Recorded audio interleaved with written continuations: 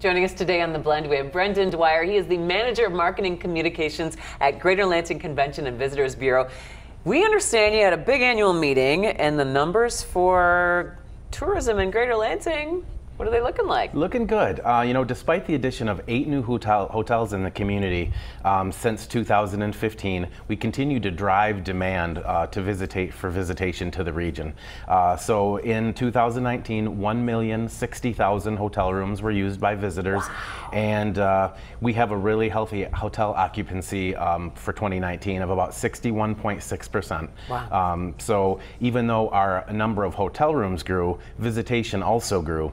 Uh, in fact, it was our ninth consecutive year of growth. That's fantastic. Yeah, yeah, really very positive. So some special awards were handed out as well as some announcements at the meeting. What were those? Yeah, we actually we honored our certified tourism ambassador of the year, Lance Margriff, with the Quality Suites Hotel um, was recognized. Our CTA program is a way for us to educate, inspire, and then later honor and recognize frontline hospitality employees who are um, truthfully dedicated to the visitor experience. So we enjoyed um, taking taking care of him in that. And then we also honored our retiring CEO, Jack Schripsema, mm-hmm. um, who spent eight years with the Convention and Visitors Bureau, but had a 50 year hospitality career. Um, and we took a minute to honor him as he kind of uh, tipped his hat and said goodbye to the hospitality community. Wow, that's quite a run. Yeah. Uh, talk about the new Greater Lansing Convention and Visitor Bureau President and CEO. Yeah, we're very excited to announce that um, Julie Pinkston, um, the current uh, Executive Vice President Chief Operating Officer of the CVB, is going to step into that CEO role.